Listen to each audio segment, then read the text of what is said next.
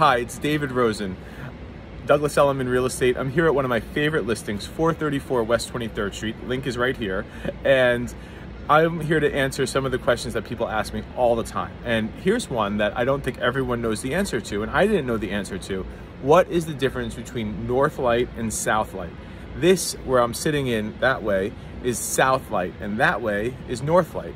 And if we were facing north, the sunlight is actually half as bright as it is facing south. Facing south is twice as bright as it is facing north. It's a significant difference. In fact, properties that face south sell for more than properties that face north here in New York.